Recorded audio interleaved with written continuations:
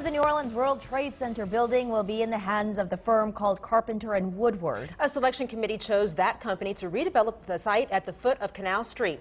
WDSU reporter Andy Cunningham is live in studio now with details. And Andy, they're affiliated with the Four Seasons Hotel, right?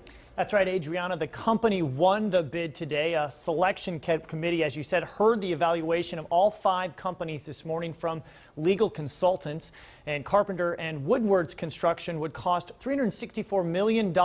It would also bring the most amount of money to the city at $400 million. It would also bring more than 1,600 jobs during construction and 450 permanent jobs to the city. Carpenter Woodward plans to turn the WTC into a Four Seasons hotel apartments, and other mixed-use spaces. The committee's spoken, and it's sort of they seem to rise to the top on many levels. So there's no one factor that makes the decision. It's many factors that go into selecting the, the uh, prevailing developer.